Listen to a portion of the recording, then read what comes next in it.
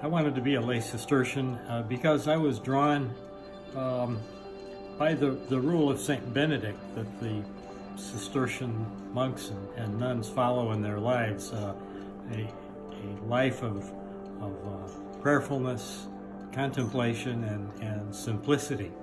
And uh, I, I, discovered uh, that all of them radiated a sense of joy in their lives, and I wanted to share in that joy. And uh, by, by becoming a lay Cistercian, I was able to uh, participate in, in, in, that lifestyle uh, in the world outside the monastery. Mm -hmm. I wanted to become a lay Cistercian because I felt this was a way to be a better prayer person. I felt that prayer is a deed and it is something that the world needs, and I felt that God was calling me to be a person who prays. And so I was following the Holy Spirit when He brought me to this group. I wanted to become a lay Cistercian because after attending a retreat at a monastery, I fell in love with the way that they prayed. And I wanted to join in that prayer and incorporate the spirituality into my life.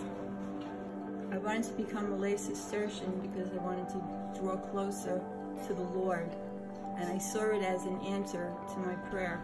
I wanted to become a lay Cistercian because I wanted to deepen my relationship with Christ.